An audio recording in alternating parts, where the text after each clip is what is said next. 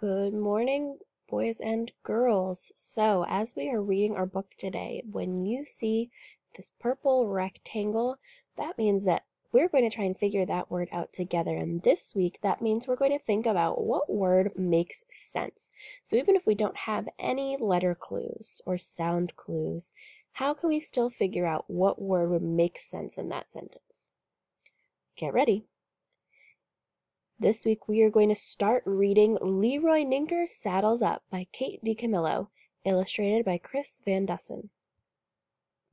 Chapter 1 Leroy Ninker worked at the Bijou Drive-In Theater hmm, stand. So we see we've got our first purple rectangle. So let's think about what our clues are. He worked at a drive-in theater, and using my picture clues, it looks like that's a movie theater. I'm not sure I have enough, so I'm going to see if I can read one more sentence and see if that helps. It was Leroy's job to pour drinks and butter popcorn and smile a very large smile. So let's see. I know he works at a movie theater. I know he pours drinks and he puts buttered popcorn and he smiles at people. So let me see if I can think about what kind of people work at a movie theater. Where would somebody at a movie theater work? He could work at a ticket stand, but if he worked at a ticket stand, he wouldn't pour drinks. Could he work at a concession stand? What do you guys think? Let's check. I've got a C. Does that fit with c concession stand? Concession. Hey, we were right. Leroy Ninker worked at the Bijou Drive-In Theater concession stand. It was Leroy's job to pour drinks and butter popcorn and smile a very large smile. At the concession stand, Leroy Ninker said, "Thank you very much." He said, "Extra butter on that?" He also said, "Yippee-i-o!" Leroy Ninker said "Yippee-i-o!" because Leroy Ninker had a dream. He wanted to be a What did Leroy Ninker want to be if he said "Yippee-i-o"? Hmm, I think that one's an easy one because the only people I know that say "Yippee-i-o" want to be a cowboy. Let's see. He wanted to be a cowboy. Very nice. And whenever I figure out a word, I go back and I reread that sentence. So, Leroy Ninker said yippee-i-o because Leroy Ninker had a dream. He wanted to be a cowboy. On Wednesday nights, the Bijou Drive-In Theater ran a Western double feature, and Leroy Ninker stood and watched in wonder as the great white expanse of the bijou screen filled with purple mountains, wide open plains, and cowboys. The cowboys wore ten gallon hats. They wore hmm, they carried lassos. So let's see, they wore hats. What else do they wear? Hmm. They wear, let's see, maybe they wear jackets. Maybe they wear boots. Maybe they wear hmm, oh, they wear spurs on their boots. Hmm. They wear belts. So we've got a lot of things that this could be, right? There are a lot of possibilities. So let's check our letters. So they wore b. Ooh, I think boots was right. They wore boots. And now that we've saw the word, we go back. The cowboys wore 10 gallon hats. They wore boots. They carried lassos. The cowboys were men who cast long shadows and knew how to fight injustice. They were men who were never, ever hmm. Hmm. They were never, ever late? That doesn't make that doesn't make sense. Let's see. They were never, ever mean? That doesn't make sense either. They were never, ever scared? Maybe. They were never ever, hmm, they were never ever happy? Could be. Let's see. They were never ever, uh, afraid. They were never afraid. Oh, we were pretty close with scared.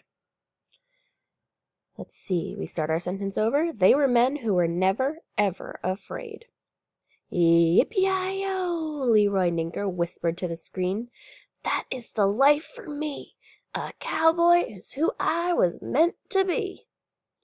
"Who are you whisperin' to?" said Beatrice Leopaglioni. Beatrice was the ticket seller at the Bijou. Once all the tickets were sold and the movie had begun, Beatrice joined Leroy Ninker in the concession stand so that she could eat popcorn and watch the movie.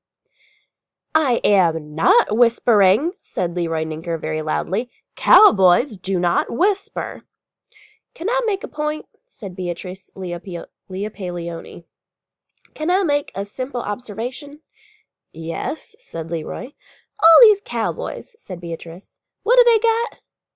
"Hats," said Leroy Ninker as he stared at the screen. "And also boots." "Yep," said Beatrice. "What else?" "Lassos," said Leroy. He put his hand on his lasso. "And?" said Beatrice. "Tracking abilities?" said Leroy. Beatrice heaved a heavy sigh. "I am thinking of something that you can actually see. Something right in front of you." She paused. "Something that the cowboys are sitting on." Leroy Ninker took off his hat and scratched his head. Beatrice sighed again. "Horses, Leroy," she said. "Every cowboy needs a horse." Leroy Ninker was a small man with a big dream. He was also the kind of man who knew the truth when he heard it. Suddenly his hat and his lasso and his boots and his yippee i o's didn't feel like enough. Beatrice Leopaglioni was right. How could he ever hope to be a cowboy, a real cowboy, a true cowboy, without a horse? "Yup," said Beatrice, "you've got a problem. You've got to procure a horse. But don't worry, I happen to have the solution for you right here." She held up a copy of the Gisford Gazette. "Listen," she said. Beatrice adjusted her glasses. She cleared her throat.